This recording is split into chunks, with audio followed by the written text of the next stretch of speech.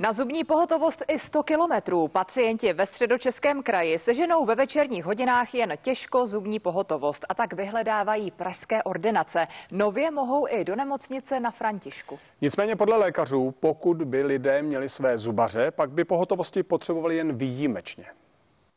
Do Prahy zamířila i Hajke, bydlí ve Slaném, kde má i svého zubaře. Dneska, když jsem volala panu doktorovi, že mám neskutečné problémy a bolesti s tím zubem a že mě vlastně to jde jakoby do hlavy a všechno, tak mi řekl pan doktor, nebo de facto sestřička mi řekla, jestli si dělám prd.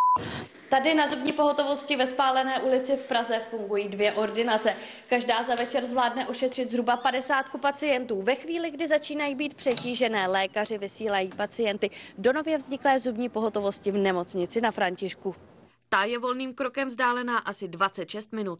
V nově vzniklé zubní pohotovosti na Františku mají maximální kapacitu 20 pacientů během pětihodinové ordinační doby. Může výrazně ulevit nám za prvé a samozřejmě zkrátit čekání e, klientů na ošetření. Nově otevřenou zubní pohotovost si vybrala Hana. Je to strašný, protože v té spálení je celý středočeský kraj plus Praha, nikdy vás ani nevemu. Velká většina pacientů jsou právě ti, kteří svého zubního lékaře nemají. A to je podle lékařů největší problém. Kdyby pacienti měli své zubaře v dosahu a pravidelně k něm chodili na kontroly, zubní pohotovosti by nebyly přeplněné. V nemocnici na Františku už zaznamenali rostoucí trend mimo pražských pacientů. Chodí k nám i ze středočeského kraje, ty tvoří zhruba 20% ale jezdí k nám i pacienti ze vzdálenějších lokalit, například to byl jeden pán z Liberce. Důvody jsou jednoduché jednoduché.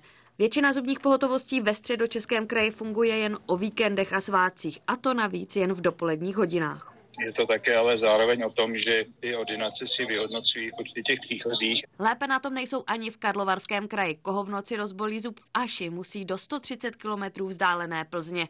A problém je i v Moravskosleském kraji. Pokud někoho rozbolí večer zub v Osoblaze, musí do hodiny a půl vzdálené Ostravy. Ministerstvo zdravotnictví chystá novelu zákona o zdravotním pojištění, která by měla zajistit větší vymahatelnost služeb na pohotovostech.